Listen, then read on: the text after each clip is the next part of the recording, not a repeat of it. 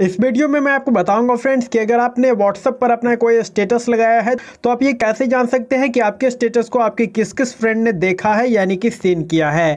तो ये जानने के लिए आप इस वीडियो को शुरू से लास्ट तक देखिएगा और अगर आप मेरे यूट्यूब चैनल पर नए हैं, इस चैनल को सब्सक्राइब करके पास वाले नोटिफिकेशन बेल को दबाकर ऑल के ऑप्शन पर ज़रूर क्लिक कर दीजिएगा। चलिए वीडियो को स्टार्ट करते हैं। तो दोस्तों, उसके लिए आपको चले जाना है अपने व्हाट्सएप में। उसके बाद फ्रेंड्स, आपको यहाँ स्टेटस पर क्लिक करना होगा। उसके बाद फ्रेंड्स, आपने जो भी स्टेटस लगा रखा होगा। वो फ्रेंड्स आपको यहाँ माई स्टेटस पर देखने को मिल जाएगा। तो फ्रेंड्स एक बार आपको यहाँ माई स्टेटस पर क्लिक करना है। उसके बाद फ्रेंड्स आपके स्टेटस को जितने लोगों ने देखा होगा, उसका नंबर यहाँ पर शो करता रहेगा। जैसे कि फ्रेंड्स आप देख सकते हैं, हमारे स्टेटस को बारह लोगों ने देखा है। तो फ्रेंड्स आप ये जानने के लिए कि आपके स्टेटस को आपके किस किस फ्रेंड ने देखा है।